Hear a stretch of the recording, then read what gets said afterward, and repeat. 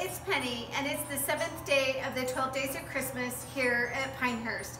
For Monday, December the 17th, we're gonna offer the lanterns that light up. Lanterns have been huge this year. These are really cool because you could hang them from a hook. They have a battery operated. You have a nice little lantern. They look nice on tables. And we're also offering our whole selection of snow globes or basically anything that lights up. We've got these adorable snowmen and all of the variety of snow globes that we have.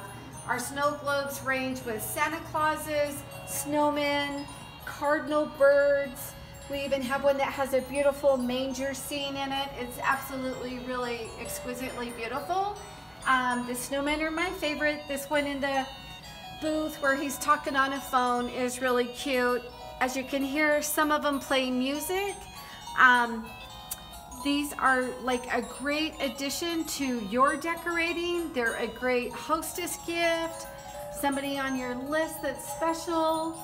They all have like motors in them so that they blow around the snow. These are just absolutely adorable.